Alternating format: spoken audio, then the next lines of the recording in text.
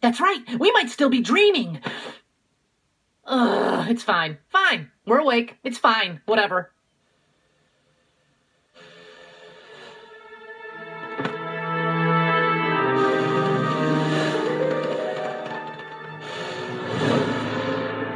Aunt Magica? You really have been creeping in my dreams all week. Night after night, I tried to get you to give your powers back to me, but you kept waking up.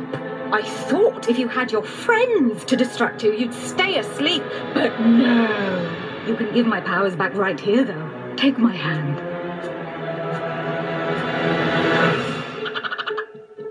We're family. You need me.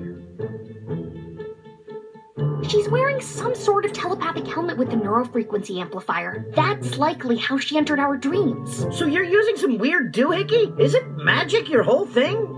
You really don't have any powers left. I don't need you. You need me. You are no longer allowed in my head.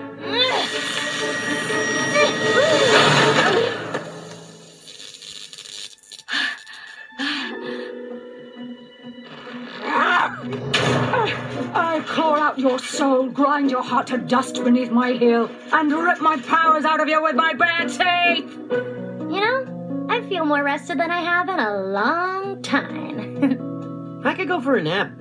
You think you've won, but I am your fate! I am the dark force at the core of all things! I am Magica De Spell!